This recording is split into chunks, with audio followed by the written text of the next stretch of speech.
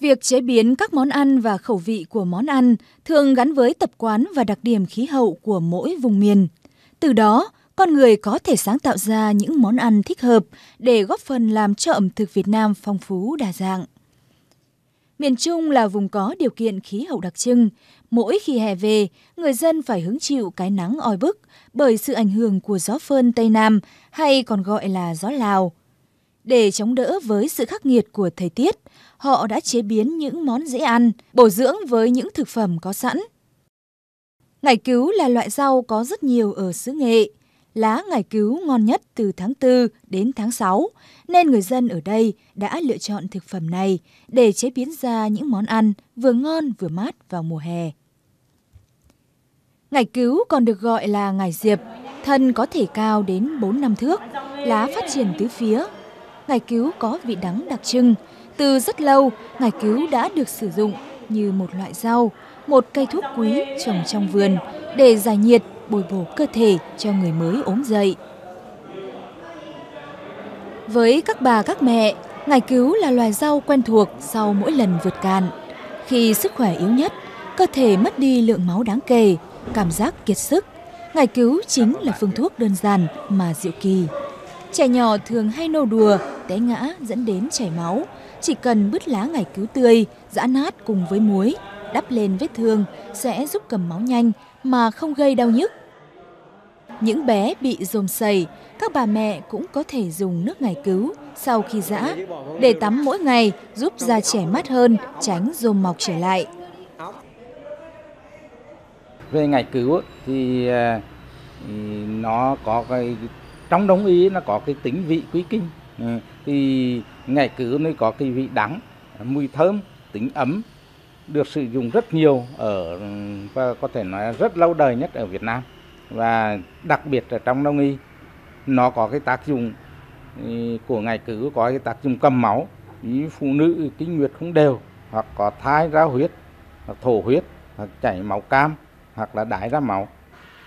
Và nó có tác dụng giảm cái đau nhức sát trùng, kháng khuẩn, ghẻ lở trị viêm da, dị ứng và điều hòa khí huyết. Đau bụng kinh để an thai. Đau bụng do lạnh ờ, nôn mửa, kiết lỵ bệnh bạch đới, phong thấp.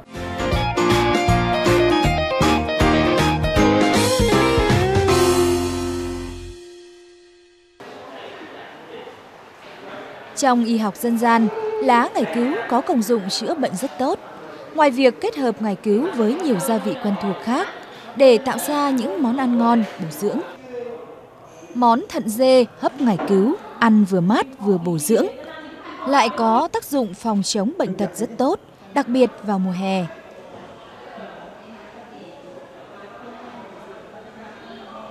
Để chế biến được món thận dê hấp ngải cứu ngon, hấp dẫn, Chúng ta cần chọn thận dê tươi ngon, rửa sạch, bổ đôi, bỏ màng trắng, thái miếng.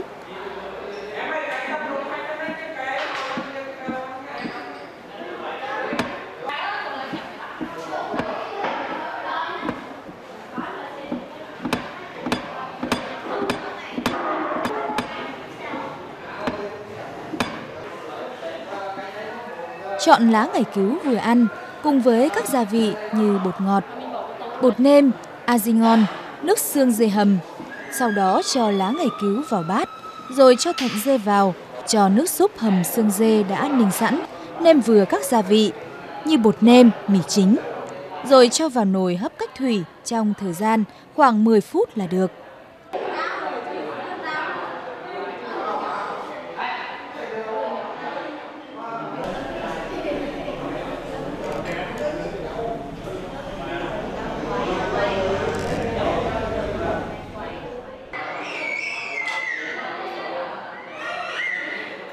Khi ăn, tùy khẩu vị từng người để có thể thêm các gia vị mặn ngọt khác nhau. Sự kết hợp vị đắng của lá ngải cứu cùng với vị ngọt của thận dê đã tạo nên một món ăn hấp dẫn và bổ dưỡng cho quý ông trong ngày hè. Giá trị dinh dưỡng thận dê hấp ngải cứu à, đặc biệt là bổ cho nam giới, bổ sức khỏe cho người những người yếu thận, là làm khỏe những người suy nhược là ăn vào rất khỏe cái thần dế thế này cái thần dế không phải ai cũng chế biến được cái thần vì trong loài thần này nó bao hàm các những cái cái cái, cái, cái tổng hợp toàn bộ cả cái cái, cái, cái, cái nội tạng thì cái loài này nếu chế biến không đúng và giá vị cũng đúng hạn thì không thể dùng được cái cái cái cái cái cái, cái, cái thần này và thần này phải đòi hỏi một cái quá trình là quá cái đào tạo về ông ẩm thực thứ hai là cách chế biến đúng mùi vị bỏ đúng lốc đúng cả cái giá vị khoản ta mới dùng được không thể hẳn là cái loài họ giá họ dùng nhất trong các loài vì các loài thần nhưng mà ngược lại của hắn thì như vậy là nó bổ thần ấm và dương và làm cho con người ta có tăng sức lực cường tráng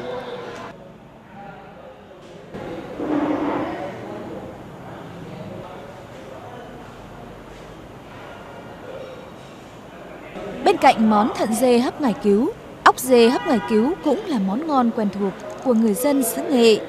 Đây vừa là món ngon, bổ dưỡng, vừa là vị thuốc chữa bệnh đau đầu, chóng mặt, suy nhược cơ thể. Khi ăn, tạo cho ta cảm giác sảng khoái, dễ chịu, nhất là đối với những người bệnh mới khỏi, tinh thần mỏi mệt vào những ngày nắng nóng.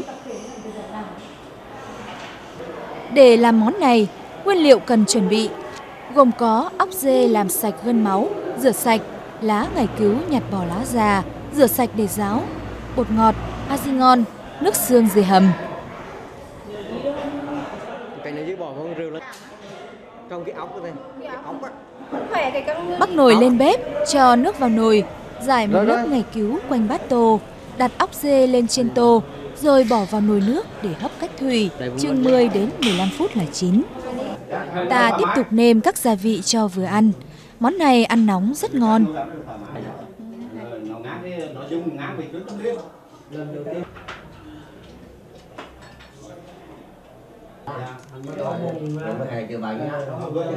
Cây cả năm cái này cái này là dùng cho vấn đề cái ta đang còn tiến tới cái ốc thì bộ ốc á, thì ở đây trong chế biến thì có khi người ta dùng. Cái loài dế này là không phải ăn được sống như các cái loài khác như khỉ là ăn sống. Chứ còn dế thì phải chế biến. Và chế biến thì khi người ta mới dùng được. Còn khi muốn uh, à, chế, chế biến cái cái cái, cái ốc dế á, thì chúng ta phải dùng qua cái ngày cứu. À, ngày cứu ngày cứu kết hợp với ốc dế nó chưa được cái bộ thần kinh tổng hợp cho chúng ta. Vừa ăn mát dễ ăn khỏe mà nó lại điều trị được cái hệ thần kinh tổng hợp cho chúng ta. Vì uh, tuổi thì tương đối lớn rồi mà uh, cái món uh, ốc hấp nghị cứu này thì nó có nhiều tác dụng. Thứ nhất thứ nhất là vừa cái tâm của người già nó cũng uh, xin lỗi chị chứ cái rắn ham nhưng kém. Chứ cái thứ hai thì nó hợp với khẩu vị à, của cái mùa hè.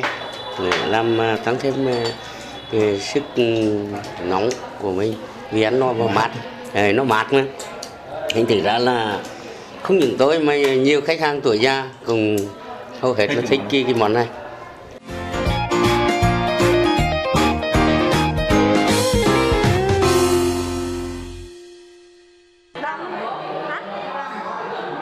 Theo y học cổ truyền, hầu hết các bộ phận của dê đều có thể dùng làm thuốc chữa bệnh. Thận dê còn gọi là dương thận, có vị ngọt, tính ấm, có công dụng bổ thận khí, ích tinh tủy, thường được dùng để chữa các chứng thận lao hư tồn, lưng đau gối vòi, tai ù, tai điếc, liệt dương, di hoạt tinh, yếu sinh lý, đi tiểu đêm nhiều lần. Các bài thuốc chữa bệnh từ thận dê gồm có liệt dương xuất tinh sớm, thận dê một đôi, nhục thông dung 12 g, kỷ tử 10 g, thục địa 10 g, bà kích 8 g. Thịt dê thái miếng hầm với các vị thuốc được gói trong túi vải. Bò bã thuốc chế thêm gia vị, ăn nóng.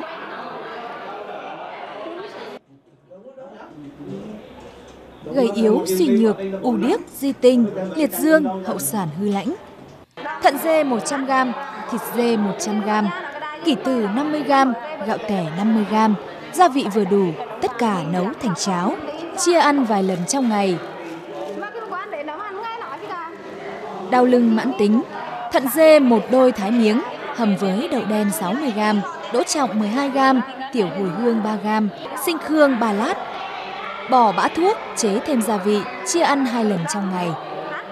Còn đối với ốc động vật, không chỉ là thực phẩm mà còn là vị thuốc chữa các bệnh lý có liên quan đến não và thần kinh như đau đầu, thiên đầu thống, rối loạn tiền đình. Triệu chứng thường gặp là đau đầu, cứng cổ gáy, đau mình mẩy hoặc đau một bên đầu.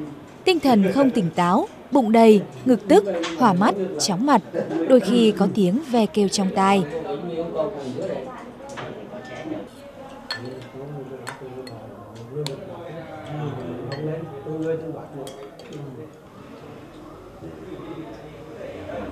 Dạ.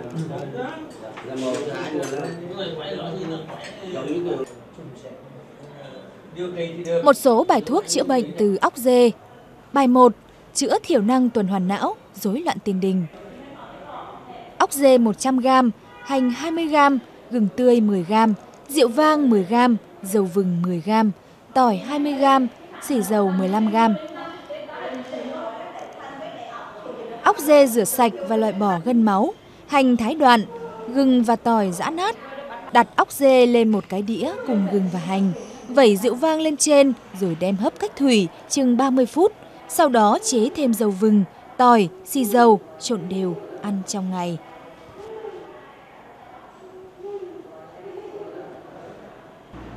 Bài 2. Chữa hội chứng suy nhược thần kinh. Óc dê một bộ, trứng gà 1 đến 2 quả.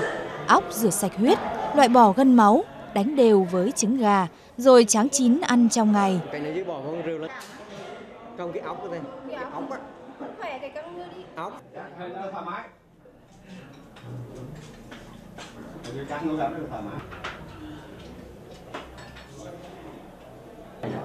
Bài 3. Chữa di chứng chấn thương sọ não. Não lợn một bộ, thiên ma 3 g thái lát, kỳ tử 15 g. Não lợn rửa sạch huyết, loại bỏ gân máu, hấp cách thủy cùng thiên ma và kỳ tử, chế thêm gia vị ăn trong ngày.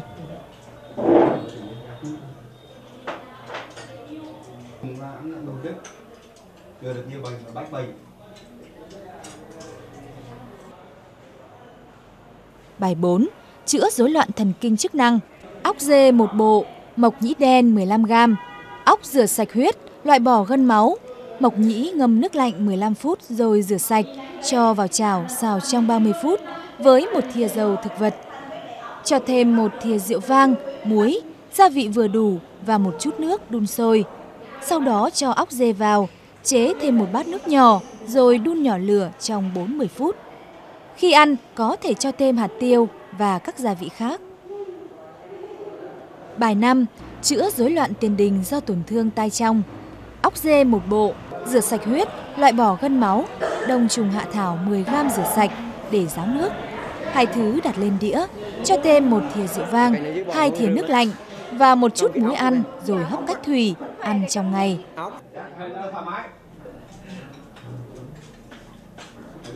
Bài 6. Chữa chứng chậm phát triển trí tuệ của trẻ em, làm tăng trí nhớ và khả năng hoạt động của não bộ. Óc dê một bộ, kỳ từ 50g, rửa sạch, hấp cách thủy cùng kỳ từ, rồi chế thêm gia vị ăn trong ngày. Lưu ý, các loại não động vật có tác dụng tương tự như nhau, tùy theo điều kiện có thể linh hoạt sử dụng.